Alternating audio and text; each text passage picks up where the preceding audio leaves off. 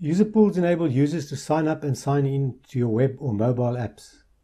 Once you have a user pool, you can create, confirm and manage users' accounts. You can also import your existing users into your new user pool. This enables a seamless migration of users from an existing user directory to your user pool when the user signs up to your user pool for the first time. To create a user pool, sign in to your AWS Cognito console. Select a region for your user pool. Select Manage User Pools. Select Create a User Pool. Give a name for your user pool. Note that you can't change the name after creating the user pool. Select Step Through Settings to select the attributes or select Review Defaults to confirm the default selected attributes. You can edit the default attribute selections here if you like. Attributes are pieces of information about a user, for example, name and email. User pools have a set of default attributes, but you can also add your own custom attributes. Default attributes are implemented according to OpenID specifications. The default attributes are optional. Simply check the box to make them required. Usernames and preferred usernames. A username is required and is not the same as a name.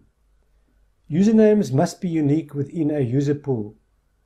A username can't be changed after creating the user.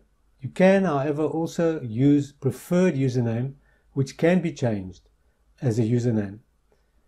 If your app does not need a username, then let it create a unique username in the background, which is used to register the user.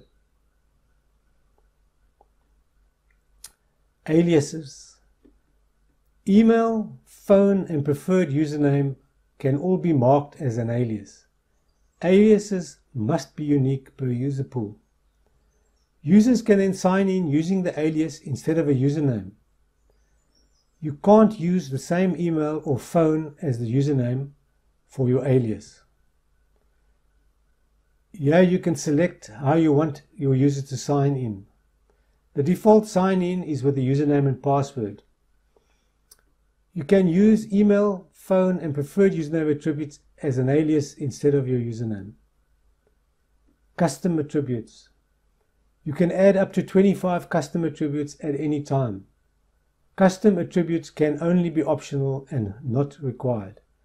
You also cannot delete or edit custom attributes once they have been added to the pool. We have finished selecting our attributes. Now let's move on. We're going to skip the next sections policies, MFA, message customizations, tags, devices, app clients, triggers, as we can edit these after the user pool has been created. So select Review and then Create Pool to create our user pool. Once the pool has been created, we will see this success message. Once you have created a user pool, you can edit some of the settings. Let's have a look. General settings, users and groups. Here you can import users from existing user directory or a database. There are two methods of importing your existing users into your, your new user pool. You can use a Lambda trigger to migrate users when they sign in for the first time using Cognito. Users then, can then continue using the existing password. You can also migrate users in bulk using a CSV file containing the user profile attributes for all the users. Create users. Here you can create new users, disable and delete users,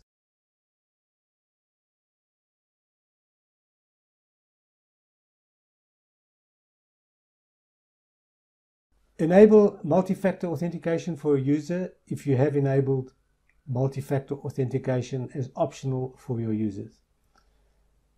Search for users using various attributes.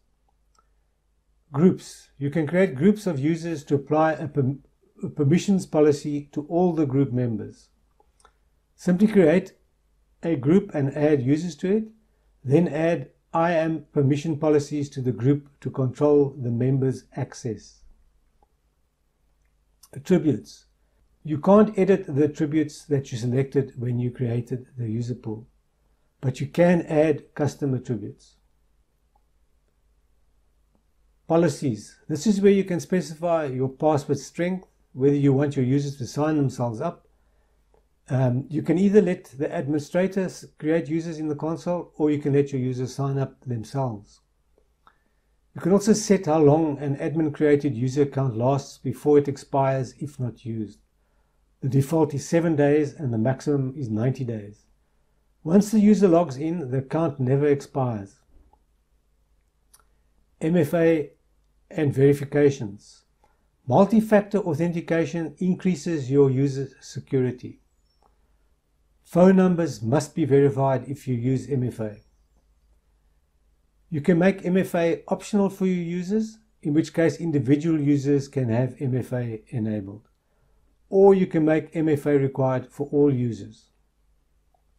Verification. Users that sign themselves up need to be confirmed before they can sign in. Imported and created users are already confirmed. Users can receive a verification code via phone or email. Verification is required to automatically confirm users and enable password recovery. An alternative form of verification besides sending a verification code is by using a pre-sign up Lambda trigger and by using the admin confirm sign up API. Role for SMS messages. If you intend sending SMSs, then you need to create a role that has permission to send SMSs. Advanced security. Select here if you want to further protect your users. Message customization. You can customize the verification email message sent to your users. You can also customize your user invitation messages. Tags. You can use cost allocation tags to categorize and track your AWS costs. Remember devices. Select here if you want to track the devices users have logged into.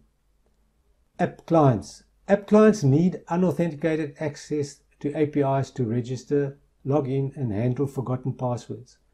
To access these APIs, the API clients will need a unique client ID and optionally a client secret key. It is not secure sending client secrets on the URL using client-side JavaScript, so the Cognito JavaScript SDK does not use the app client secret. The client secret is used by Android and iOS as their server-side components can secure the client secret. If you choose to create a secret key, then you must use it. Note that you can't change the secret key once you have created it. Triggers. You can customize workflows and user experience by triggering your Lambda functions here. You can create your own Lambda functions and then have them triggered by a user pool operation such as sign up, confirmation and sign in. This is where you'll set up the Lambda trigger. An example is triggering a Lambda function when a user signs in to migrate that user from your existing users into your new Cognito user pool. App integration. Complete this section if you want to use the built-in sign up and sign in hosted pages or if you want to use the OAuth 2 flows. Thanks for watching. Be sure to check out our next tutorial where we show you how to create an identity pool. If you found this tutorial useful, why not give it a like? subscribe and hit the notification button so that you're notified when next we release a tutorial. Thanks.